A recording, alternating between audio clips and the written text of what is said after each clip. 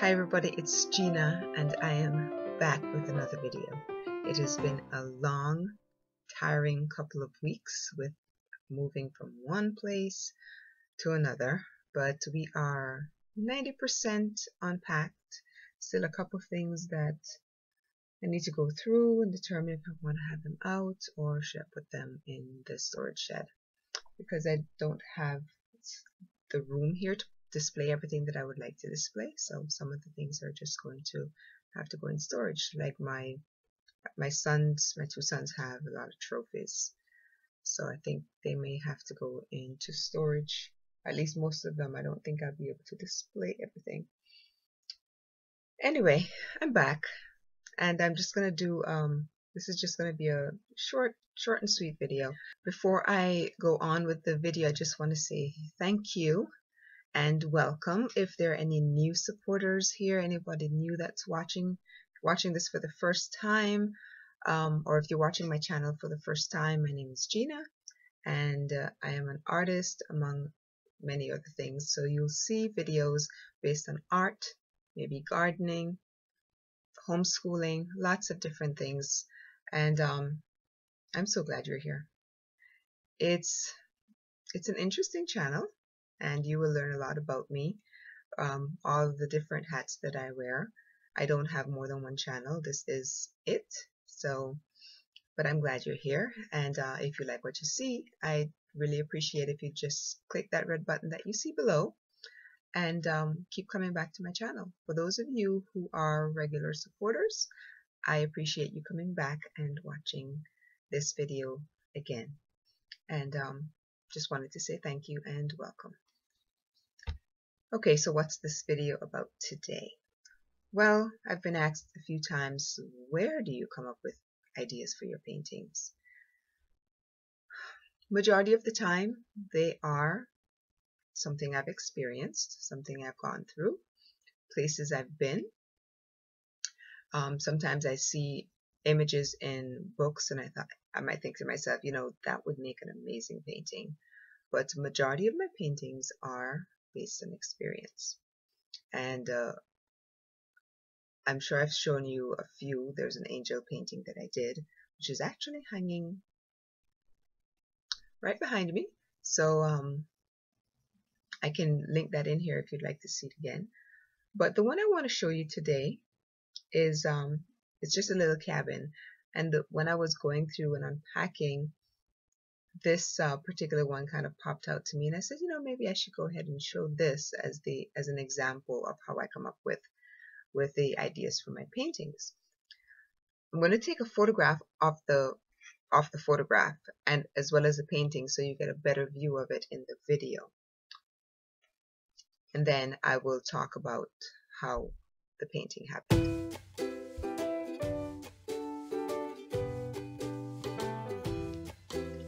Okay, so you should have seen an image which looked like this.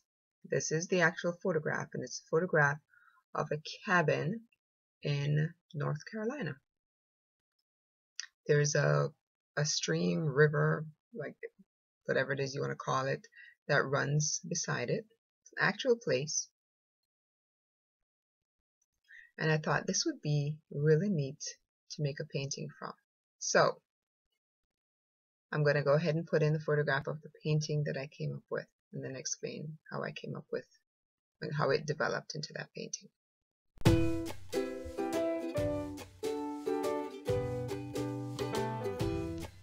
So you should have seen a close-up of the actual painting and here's the here it is. So what I'm going to do now is hold them up side by side and explain to you what I did. So here are, I'm hoping that it come across clearly because I don't want there to be a glare or anything. Alright, so here's the photograph. Let me see if I can, I may have to cut off a piece of the painting right there. I'm hoping that it's it's clear for you. Okay, so here's the photograph and here's the painting.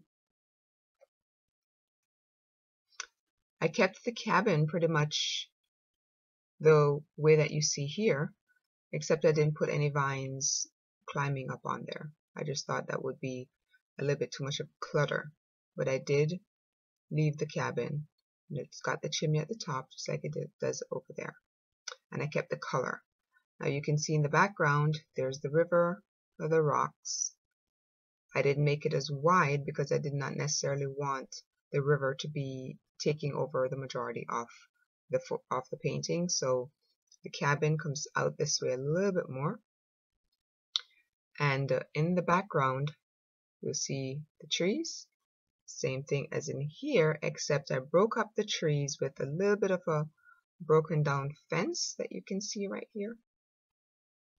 And in the foreground, this looked a little empty, so I went ahead and I simply added a fence and a few more.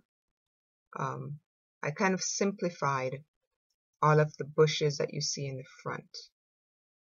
Just simplified those a bit.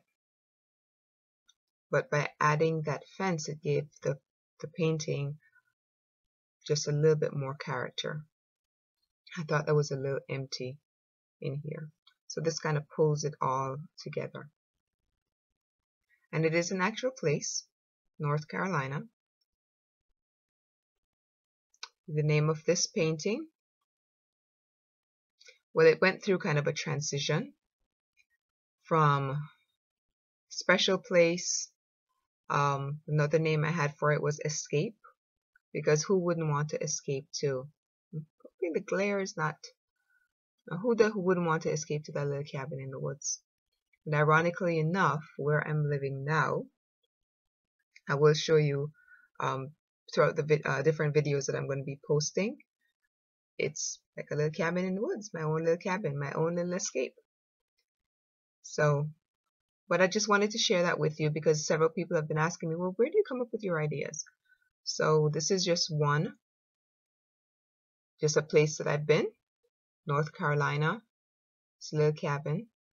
And I just simply added in that fence, simplified the bushes because you don't want too much clutter to take away from the actual focus of your painting. And the focus for me was the cabin and you know you always leave a light on in the window right and the window the or the light in the window is actually done using um, fluorescent paint which in just a small amount of it so that when the lights are turned off or actually I should say glow, uh, glow in the dark paint so whenever the lights are turned off in the house there's still that glimmer of light that shows from the painting. And I've done that with a couple of paintings that I've you know, where I've painted houses. Put a, just a touch of the glow in the dark paint in the windows where it actually lights when the lights are turned off. Alright, so just wanted to share with you one of um just a little trick of my trick of the trade, I guess. Trick of my trade. Um yep, photograph and uh, here's the painting that came out of it. Now I'm going to show you one more, just um, one more that's based on an experience.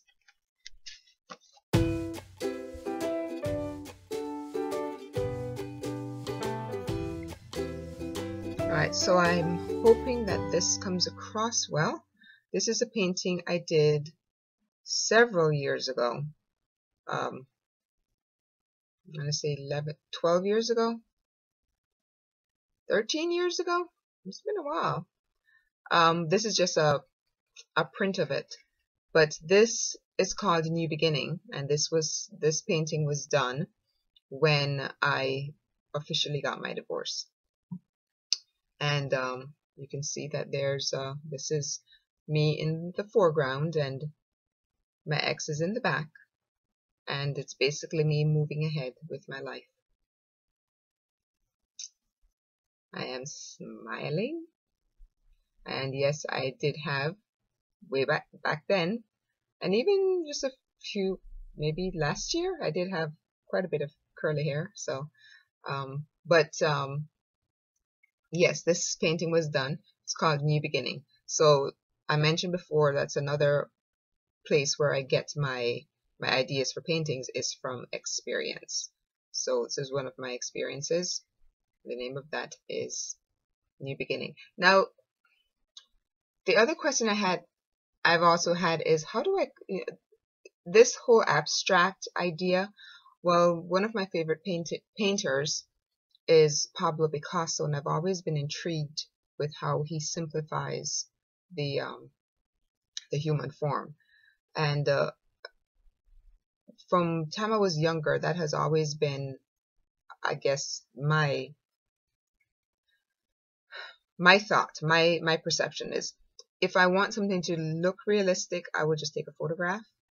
My way of seeing things is in a more abstract form, so I have been doing the same thing, simplifying the forms. You can tell that it's a, a female. You can tell that it's a person simply because you know there's an eye, there's a mouth, there's hair, but it certainly doesn't look like me and it doesn't look like anyone else. But that's the idea. So um, there's another. That's I guess my other trade secret. I do simplify form. Um, because I don't necessarily want them to look like a particular person, but I want to get the idea across. I guess my my style would be more of like an abstract representation if there's you know that that's how I would look at it. So there's one from experience and then I'm going to share with you one that I'm going to be working on soon and I will definitely share that journey with you when I do the video. But there's I have three pictures here as I was going through some magazines, I I found some um, some interesting photographs. So this one,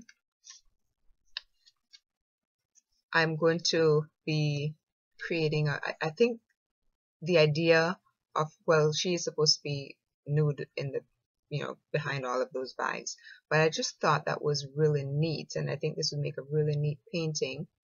Um, her face, of course, will be simplified like the one I showed you a minute ago. And then all of these handbags and the vivid colors. Well, I won't tell you too much. I'm going to just let you see the process when I start to work with it, okay? Here's another one that I found, which was very elegant. So I'm going to be working with that one as well. And this one I thought was really, really neat. And I'm going to be creating an abstract painting using this. I can, uh, things I can already see these paintings completed in my head. I can see all of the color, the form, everything. So, but I will definitely bring you along on that journey as I'm creating each of these paintings. So there's another way how I uh, get ideas for my paintings. So I've shared with you get ideas from places I've been, from experience uh, experiences that I've gone through, as well as from different photographs in magazines. So I hope I hope I, that's given you a little bit of an idea of how I create, how my paintings come about. And if you have any further questions or things you'd like me to share about re relating to how I, you know, how I create my work as far as the paintings are concerned, because I also uh, create sculptures. So um, if you have any questions, go ahead and share those with me in the comment section below, and I so thank you for watching. Thank you for being here. And I am always appreciative of your support, whether you are a newcomer or you are and have been a loyal supporter. So I will see you again real soon on another video. And I look forward to also watching your creations as they come into my inbox. Bye.